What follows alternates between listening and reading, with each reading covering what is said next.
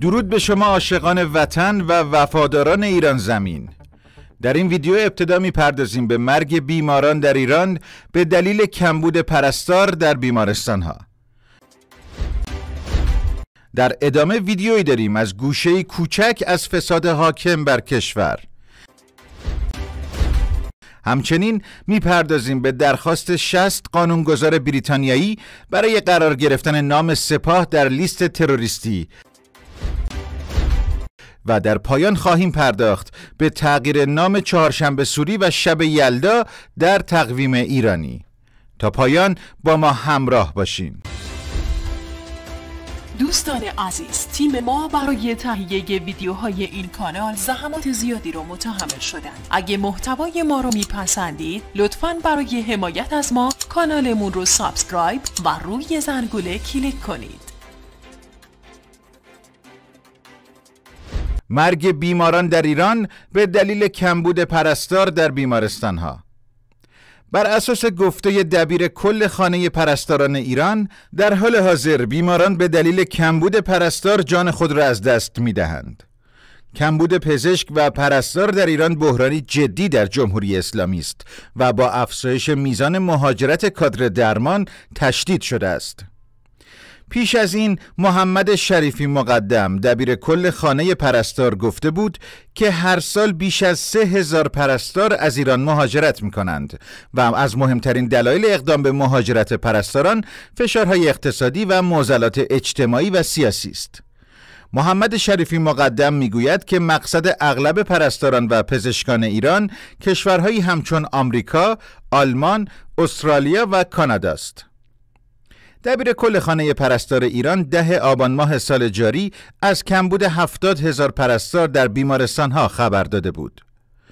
19 آبان 1402 نیز علی جعفریان رئیس سابق دانشگاه علوم پزشکی تهران در حساب کاربری خود در شبکه اجتماعی ایکس نوشت امروز هم یک پرستار بسیار خوب آیسیوی پیوند کبد بیمارستان امام برای مهاجرت به مقصد اروپا خداحافظی کرد. او سیزده سال سابقه داشت دیگران هم صحبت از کلاس زبان آلمانی می کردند آقای حکومت متوجهید کمبود کادر درمان یعنی چه؟ سلامت مردم برای شما اهمیتی دارد؟ آمار دقیقی از میزان مهاجرت پزشکان و پرستاران و سایر نیروهای انسانی حوزه سلامت وجود ندارد. اما بر اساس گزارش های منتشر شده در برخی رسانه های ایران طی چهار سال گذشته 16 هزار پزشک عمومی از ایران مهاجرت کردند. رصدخانه مهاجرت در تابستان سال 1401 نیز پژوهشی انجام داده است که در آن اغلب مهاجران حوزه سلامت بیثباتی اقتصادی و اجتماعی در ایران وجود فساد نهادینه شده در کشور و شیوه حکمرانی را مهمترین عوامل اقدام به مهاجرت خود بیان کرده بودند. این کلیپ گوشه کوچک از فساد حاکم بر کشور است. هیچ حکومتی از بیرون مغلوب نمی شود مگر آنکه از درون نابود شده باشد.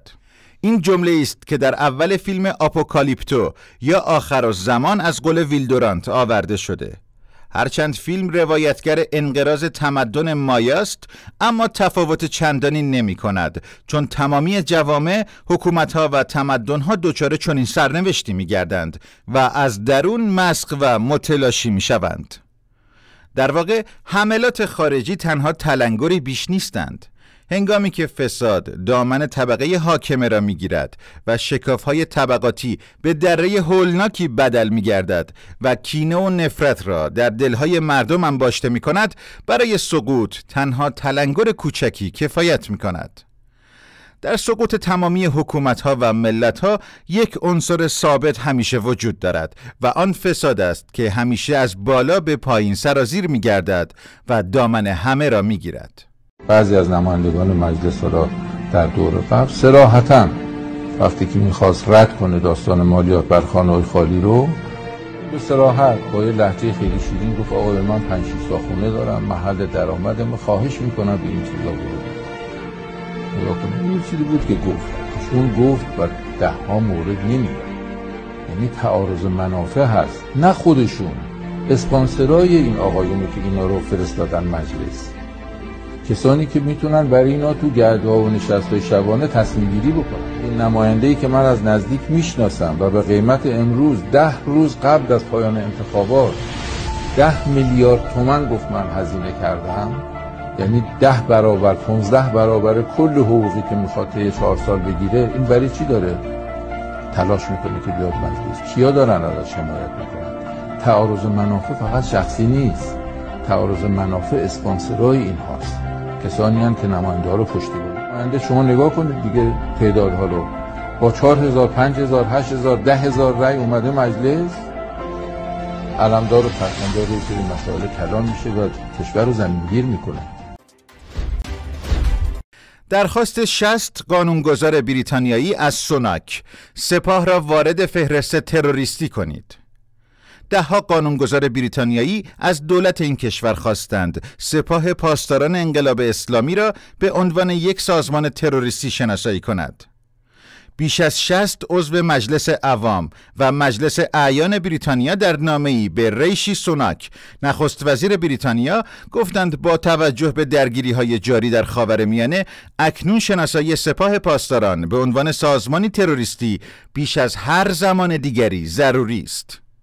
به گفته آنها چنین اقدامی یک قدم عمده در راستای برقراری صلح، ثبات و عدالت در خاورمیانه و فراتر از آن خواهد بود. در عواست دیماه سال گذشته یک مقام ارشد وزارت امور خارجه بریتانیا عنوان کرده بود. این کشور فعالانه سرگرم بررسی تروریستی شناختن سپاه پاسداران است. اما هنوز تصمیم نهایی در این زمینه نگرفته است. تروریستی شناخته شدن سپاه در بریتانیا بدین معناست که عضویت در آن شرکت در نشستهایش و حمل نمادهایش ممنوع خواهد بود.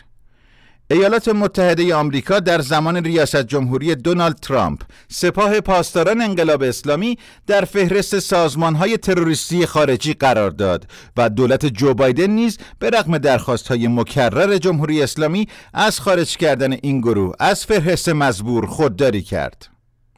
سپاه پاسداران همینک تحت تحریم های گسترده ای از سوی بریتانیا، اتحادیه اروپا و کانادا قرار دارد اما به رغم درخواست های مکرر فعالان سیاسی و مدنی و ایرانیان خارج از کشور سپاه هنوز از سوی هیچ یک از آنها به عنوان یک سازمان تروریستی طبقه بندی نشده است.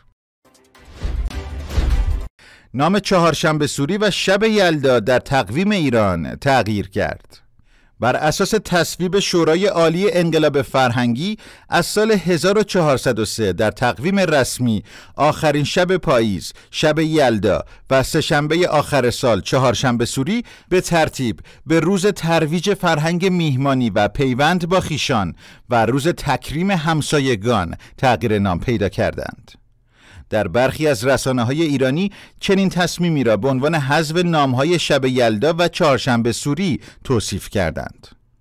عباس میرزا حسینی سخنگوی شورای عالی انقلاب فرهنگی درباره تغییر نام شب یلدا به خبرگزاری ایسنا گفت متناسب با فرهنگ و سنت های ایرانی اسلامی که در شب یلدا مرسوم بوده روز ترویج میهمانی و پیوند با خیشان نیز به نام این روز اضافه شده است او افزود این نام جدید نه تنها تفاوت ماهوی با آداب و رسوم این شب ندارد بلکه بر هویت ملی و فرهنگ تمدن ایرانی اسلامی تأکید دارد. این مقام جمهوری اسلامی درباره تغییر نام مناسب چهارشنبه سوری نیز گفت. با نظر کارشناسان و صاحب نظران کارگروه های تخصصی در شورای فرهنگ عمومی برای توجه به هویت ایرانی برای نخستین بار این روز را با نام روز تکریم همسایگان به تقویم رسمی جمهوری اسلامی ایران اضافه کرده است که این نامگذاری مقوم فرهنگ های ایرانی اسلامی است. برخی مخاطبان در واکنش به این تغییر نامهای شب یلدا و چهارشنبه سوری در شورای عالی انقلاب فرهنگی واکنش نشان دادند و عنوان کردند که جمهوری اسلامی در صدد نابودی فرهنگ کهن ایران است و حتی دلشان می‌خواهد نام ایران را هم تغییر دهند. یکی از آنها گفت مردم نامهای درست را می‌گویند و به فرزندانمان هم همانها را یاد می‌دهیم جمهوری اسلامی از ابتدای تأسیس خود موافق مناسبت های باستانی و فرهنگی ایرانیان چون نوروز، سیزده به در، شب یلدا یا چهارشنبه سوری نبوده اما نتوانسته بود آنها را به طور کلی از تقویم حذف کند. نوروز امسال در حالی که هر سال مردم در روز سیزدهم فروردین برای برگزاری مراسم سیزده به در به پارک ها، تفرجگاه ها و دیگر مناطق سرسبز رفته بودند جمهوری اسلامی به بهانه ماه رمضان ممنوعیت هایی را برای ورود مردم به پارک ها وضع کرد همچنین چهارشنبه سوری در سالهای اخیر به ویژه سال گذشته به عرصه‌ای برای اعلام مخالفت مردم با جمهوری اسلامی تبدیل شده است. سال گذشته شاهزاده رضا پهلوی در توییتی نوشت چهارشنبه سوری امسال فرصتی است تا نشان دهیم انقلاب بزرگ مردم ایران زنده است و آتشی که نمیرد همیشه در دل ماست. پیشتر احمد خاتمی امام جمعه موقت تهران گفته که جمهوری اسلامی خواستار نوروز اسلامی است. او همچنین گفته که جشنهای چهارشنبه سوری از اقدامات نابخردانه است. سپاس که تا پایان همراه ما بودین. لطفا نظرتون رو تو کامنت ها برامون بنویسین و این ویدیو رو با دیگران به اشتراک بذارین. تا برنامه بعدی بدرود.